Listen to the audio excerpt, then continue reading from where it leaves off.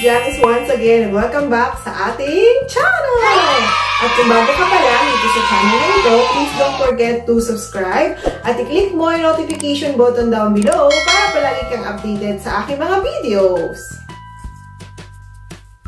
Girls, for today, importante nyo itong malaman. Ano ba to?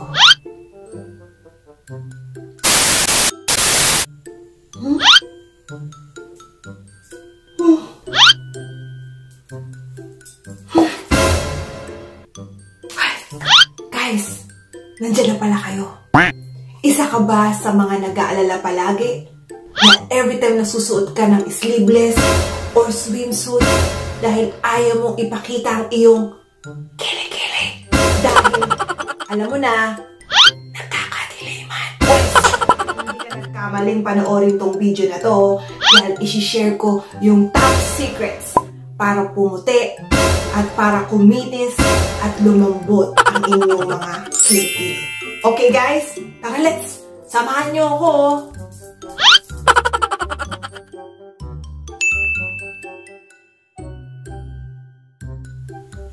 Kailangan nating iwasan ang matinding pagkuskus dahil ito ay nakakasama at nakakaitim ng ating mga kilikili. Ang pagbubunot palagi ay magiging sanhi ng pagkaka-open ng mga pores or magkakanana ang inyong mga kilikili. Kaya wag natin ugaliin magbunot ng magbunot. Ito ay rin magiging isang sanhi ng pangingitim ng inyong mga kilikili.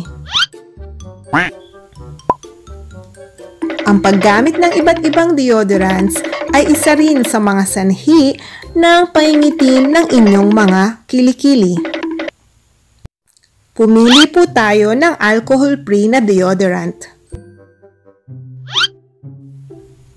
Soft towel lamang ang gamitin sa inyong kilikili. Ugaliing pahira ng inyong mga kilikili ng tamang pagpahid at dahan-dahan lang. Ang baby oil ay ito ay isang mabisang paraan para lumambot ang mga balat ng inyong mga kilikili. Isa rin ito sa pagpapaputi ng inyong mga kilikili.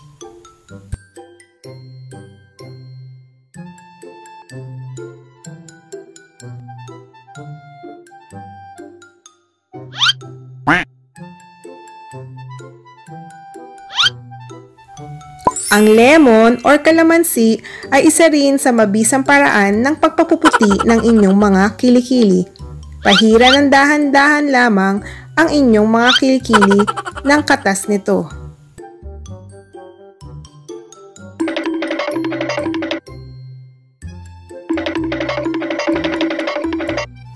Gumamit lamang ng mild soap sa inyong mga kilikili. A few moments later. Kilikili goals! Success!